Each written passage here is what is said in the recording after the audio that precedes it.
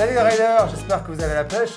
Cette semaine, bah, dans notre nouveau face-à-face, on va parler de la marque Nex et tout particulièrement du nouveau casque Aventure, le X-Wed 2. Et pour ça, bah, j'ai invité Johan. Tu peux, tu peux te présenter. Alors, donc moi principalement, donc Johan, euh, je suis le représentant commercial en fait de la marque Nex sur toute la région Île-de-France. Donc Nex en fait est une euh, marque euh, portugaise d'origine portugaise qui fabrique des casques et qui s'occupe en fait maintenant de toute la distribution en Europe. Donc c'est une marque qui fonctionne très très bien principalement en France. Voilà, on a une gamme vraiment complète, donc du simple petit jet de scooterisme jusqu'au casque vintage carbone et en passant également par l'aventure. Donc voilà, casque euh, typé trail enduro. Voilà. Alors par rapport justement, on va, on va les mettre face à face. Pour que nos riders puissent bien les voir. Quelles sont les principales euh, différences entre les deux modèles? Alors le, Moi j'avais quand même des petits retours euh, un peu clients sur le XD1. Euh, notamment sur, euh, sur la page Facebook, il y avait une question qui avait été posée par euh, Jean Talu, qui disait que justement, par exemple, au niveau de l'écran solaire, bah, il descendait trop bas, donc il arrivait dans le champ de vision. Alors, est-ce que ça, par exemple, ça a été amélioré? Justement, ça c'est un défaut en fait qui a été amélioré donc sur nouveau, le X-Wed 2. Donc vraiment, on a bien revu en fait l'inclinaison de l'écran solaire et vraiment la descente pour éviter justement d'avoir ce phénomène de se retrouver avec l'écran solaire au niveau du champ de vision. Donc principalement, donc pas de grandes nouveautés esthétiques. On est resté vraiment sur l'esthétique du XD1. Donc ce modèle qui a très bien fonctionné et justement, on a voulu corriger en fait tous les petits défauts qu'on avait rencontrés en fait sur celui-ci.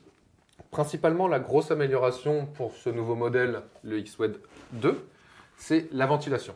La ventilation, on a voulu vraiment refaire une vraie ventile. C'est un casque touring, donc qui va être utilisé dans des conditions extrêmes, aussi bien au niveau de la chaleur, donc voilà, le casque en lui-même est très bien ventilé. Donc ce qu'on a amélioré donc, principalement, ça va être maintenant les systèmes d'ouverture de, ventile.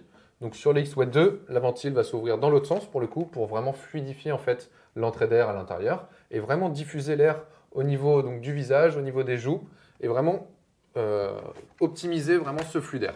C'est vrai que là on a, une belle ouverture qu'on n'avait pas effectivement au départ. Puis il y a un diffuseur aussi à l'intérieur que j'ai constaté par rapport à à ce modèle-là qui est plus important. Exactement. Donc ce diffuseur va également permettre, même si l'écran est équipé d'un écran type Pinlock, ce qui va permettre vraiment de diffuser de l'air au niveau de votre écran et de ventiler, éviter le système de condensation. Toujours donc au niveau de cette ventile sur la mentonnière, dans les accessoires qui sont fournis avec, vous avez un système de ventile. En fait, vous pouvez la remplacer, ce qui va vous permettre d'avoir une ventile totalement ouverte. Donc pour tout ce qui est utilisation euh, tout terrain ou des choses comme ça, voilà, vous avez une ventile 100% ouverte. Tout en restant toujours donc dans le système de ventile, on a rajouté cette nouvelle ventile frontale. C'est vrai qu'on la, la voit pas bien, mais il y a une grande ventilation sous la casquette. Ce qui nous manquait vraiment du coup sur les XD1. Donc nouvelle ventile donc avec deux positions d'ouverture. Et en même temps, cette ventile a été donc retravaillée avec la visière, vraiment pour optimiser le flux d'air toujours dans ce casque. Alors c'est vrai que c'est intéressant de montrer, euh, Anit euh, penche le casque. Voilà. Donc, voilà. On voit bien que les visières, elles sont beaucoup plus ergonomiques. Voilà, beaucoup plus ergonomiques, ce qui va vraiment euh, faciliter donc le flux d'air. Et en plus, en elle-même, la visière a été un petit peu rigidifiée pour éviter en fait le système de vibration et de bruit à haute vitesse ou des choses comme ça.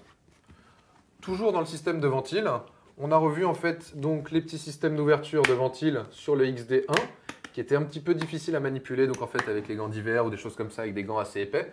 Donc voilà, ce qu'on a corrigé également, sur le X-Wet 2. Ah Toujours en restant donc sur la partie supérieure. Et en fait, vous avez rajouté des ergots sur les. Voilà, exactement. On a rajouté des ergots, donc voilà, ce qui permet vraiment de les manipuler bien plus facilement. Plus Ok, je comprends. C'est ça. Toujours en restant sur la partie supérieure du casque. Maintenant, on a un système de réglage, donc ce qui va nous permettre de régler en fait la visière, parce qu'avant, le gros défaut, c'est que voilà, on ne pouvait pas gérer l'inclinaison en fait de cette visière.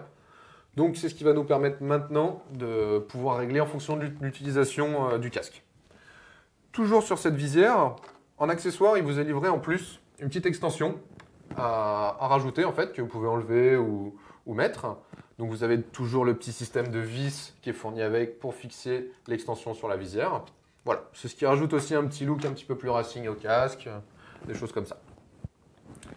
Ok, euh, ça, c'était partie aération. Voilà, partie ventilation. Donc voilà, ils ont rajouté principalement euh, deux canaux de ventilation sur le casque en lui-même. il y avait aussi un point qui, moi, me, me gênait parce que je, je l'avais, moi, j'aimais beaucoup ce casque. je- on, en, on en vendait beaucoup chez Xtamoto, mais par contre, il, il m'allait pas. Ouais, Il m'allait pas parce que, bon, à l'époque, il y avait que deux, deux calottes. c'est ça. Et, et donc, par conséquent, j'étais grosso modo entre deux, Ouais, entre deux tailles. entre Voilà. deux tailles. C'est un problème. Alors, euh, je vais essayer pour savoir si maintenant je suis bien. Bien dedans. sûr, mais voilà, c'est un problème qui a été résolu pour nous. Maintenant, on a fait une troisième taille de coque. Troisième taille de coque, donc voilà. Vous avez donc une première coque qui va être utilisée donc du double XS OS, une deuxième coque pour le M et le L, et une troisième coque du XL au triple XL. Parce que maintenant, cette année, on a également le triple XL en fait sur le XWET 2 qu'on n'avait pas avant sur le XD1, qui s'arrêtait au double XL. Alors, je constate que vous avez évidemment conservé la boucle WD Exactement. et qu'on retrouve. Voilà, le système emergency, donc ce qui va vous permettre d'enlever en cas d'accident ou de chute, ce qui va permettre au secours de pouvoir extraire en fait les mousses de joue sans tirer sur les cervicales. D'accord. Il y a aussi une- une- un petit ajout là. Voilà, la bavette. La bavette, on a eu un gros point noir là-dessus en fait sur le, le XD1. C'était la bavette. La bavette, le système de fixation était pour le coup pas trop abouti. Et en fait, euh, on avait souvent un phénomène de perte de bavette. Donc voilà, c'est vraiment ce qu'on a corrigé sur le XWET 2. Allez, Le test. j'essaye. Donc là, j'ai pris ma taille. Une taille. euh, Je, je fais une taille M. On va voir comment je suis.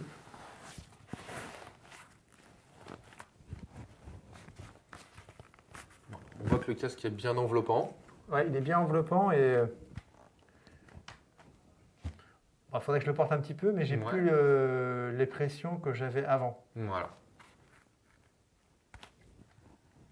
Non, mais euh, ouais, je suis bien maintenu. Ça, Voilà, bien maintenu. C'est vraiment euh, une bonne Et sensation. Tu vois du coup ce grand champ de vision d'un casque touring, Ouais. c'est ce qui est vraiment intéressant. Je vais, pour le coup, je vais essayer euh, l'écran solaire Ouais. pour voir où, où il m'arrive. Voilà. Mais tu, tu vois que maintenant il descend vraiment plus bas, il ne touche pas ton nez, et tu as plus ce phénomène voilà, d'avoir l'écran solaire au niveau du champ de vision. Bon, bah, c'est top. Donc bien sûr, tout l'intérieur est démontable, lavable, interchangeable. Et chose évidente, on est sur un casque en fibre. Fibre là-dessus, donc euh, fibre tricomposite. Voilà, donc pour le poids, la solidité du casque et la durée de vie dans le temps après. Ok. Il, y a, euh, il me semble que tu, tu m'avais parlé d'une amélioration aussi sur- au niveau de l'écran. Voilà. Donc l'écran, donc l'inconvénient qu'on avait sur le XT, XT1, on n'avait pas de cran de verrouillage en fait au niveau de l'écran. Voilà. Maintenant, on a incorporé trois, euh, trois vrais crans de verrouillage en fait sur cet écran. Alors, 1, 2 et 3. Et le troisième. Voilà. Donc ce qui va permettre toujours également d'avoir un petit flux d'air pour ventiler le casque en ouvrant euh, au premier cran. Toujours le système de verrouillage, voilà, qui fonctionne très bien. Ouais, franchement, ça c'est top parce que des fois, sur, sur certaines marques, je dois avouer que c'est limite s'il faut s'y prendre à deux mains Voilà. pour le verrouiller. Ça Exactement. que- On a fait vraiment toujours ce, ce cran assez, assez prononcé pour Ouais. pouvoir l'enlever avec les gants ou des choses comme ça. Voilà. Alors, il y, a un, il y a un point aussi qui a été amélioré euh, dont, euh, que, que, euh, que Johan n'a pas cité. C'est euh, bah, j'avais pas mal de clients qui perdaient tout simplement le Ouais. système de, De fixation de fixation de, de la visière euh, donc, et de l'écran. Mhm. Parce qu'ils ils vont ensemble. Et là, j'ai vu que ça avait été complètement amélioré. Voilà. Exactement. Donc en fait, les fixations d'écran, donc avant étaient plus petites. Maintenant, on a fait des systèmes d'écran bien plus volumineux, toujours ergonomiques, mais bien plus résistants. C'est l'avantage. Avant, ces systèmes de fixation, vous pouvez les mettre aussi bien du côté droit que du côté gauche. Il y avait des problèmes de manipulation des clients là-dessus. Donc voilà, maintenant on a fait vraiment deux fixations indépendantes. Vous avez un côté droit, un côté gauche, ce qui va éviter vraiment d'inverser dans, dans tous les cas et, euh, et de les casser ou de les perdre ou autre chose. Pareil, hein, cette visière est amovible. Donc le casque en lui-même est est livré en fait avec des obturateurs, ce qui vont permettre d'enlever la visière et de rouler toujours avec un casque touring, avec l'avantage de ce champ de vision. Mais voilà, avec une, une gamme un petit peu plus urbaine et avec euh, les petits obturateurs, donc voilà, qui laisseront pas de, de trous, de, de surplus euh, au niveau de votre écran. Ok, bon, c'est pas mal. Au niveau du poids, est-ce que ça a changé? Au niveau du poids, on est toujours sur la même gamme de poids, donc on est environ en moyenne sur 1,5 kg là-dessus, en fonction des tailles euh, de coque, en fonction des accessoires montés sur le casque. Voilà. Ouais, on là- est en moyenne à 1,5 kg Voilà, j'ai euh, entre 1,5 kg et 1,6 kg en fonction. en fonction des accessoires. Et je pense que c'était le poids. Je confirme qu'on avait à l'époque. Voilà, c'est ça. Donc on est sur quelque chose de, de, de très similaire. Moi, je suis agréablement surpris, c'est par le changement, le fait qu'il y ait trois calottes. Là, le, je, je pourrais enfin porter- en porter un, Exactement. ce qui n'était pas le cas jusqu'à présent, parce qu'effectivement, j'étais vraiment, c'était désagréable d'être entre deux, euh, Entre deux tailles. hein. entre deux tailles. Ouais, c'est ça le euh, problème. Donc c'est vraiment ce qu'on a voulu résoudre. Et puis euh, pour nous, c'était important aussi de rajouter le triple XL. On avait énormément de demandes Ah. sur un casque touring Super, comme ça. Donc euh, voilà, c'était important pour nous de rajouter le triple XL. Ok, mais écoute, top. Je pense qu'on a fait à peu près le tour euh, du casque et des différences. Merci, Johan. Et ben avec grand plaisir. J'espère que, en tout cas, euh, vous avez eu toutes les infos que vous souhaitiez. Si ce n'est pas le cas, bah, n'hésitez pas à nous poser des questions sur les réseaux sociaux. On y répondra comme d'habitude avec beaucoup de plaisir. Également. Et on se retrouve bah, bientôt ou pour un System Show ou pour un nouveau face à face. À très bientôt les riders. Merci de nous avoir suivis. À bientôt, ciao.